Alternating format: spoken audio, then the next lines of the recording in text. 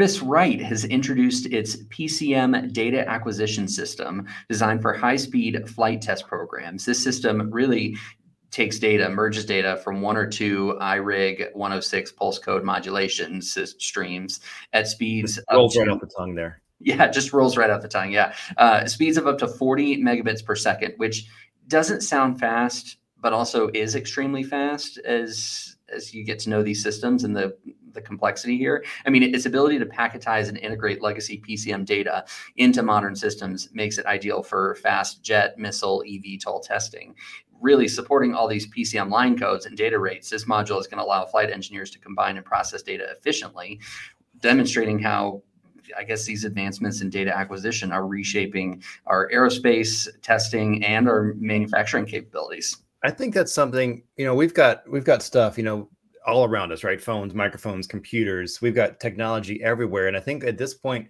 we kind of take for granted and maybe even feel like that yeah. precision manufacturing is a solved problem but it's everywhere. And it's the kind of thing where every cost savings that happens in it, every speed that, that every time you can save time, every time you can save money, uh, everything just can really add up, especially because of the sheer scale at which a lot of these things are made, right? So there's always ways to improve speed and scale of manufacturing. And that's what I would be looking at because, you know, obviously it's got to be quality. Uh, obviously it's got to process everything fast, process the data efficiently.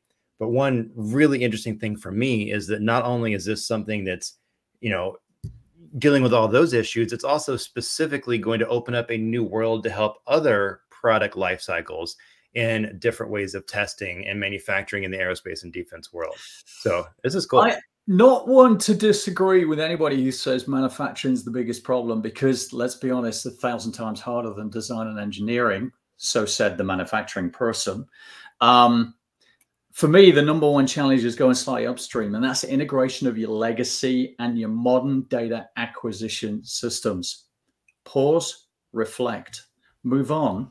The reason being the AXN PCM 401 systems ability to integrate that PCM data with modern systems is going to really give a significant challenge in maintaining compatibility especially when it's so fast paced, especially when you've got high tech environments like jets and missiles, eVTOL testing.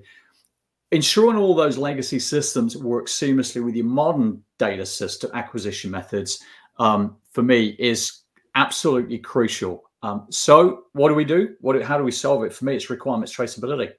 Um, Curtiss-Wright can ensure that those legacy PCMs um, and, and codes are effectively aligned with modern data acquisition systems. So that requirements traceability is going to track each system requirement from legacy compatibility to new system integration, make sure all of those data streams are processed accurately and efficiently.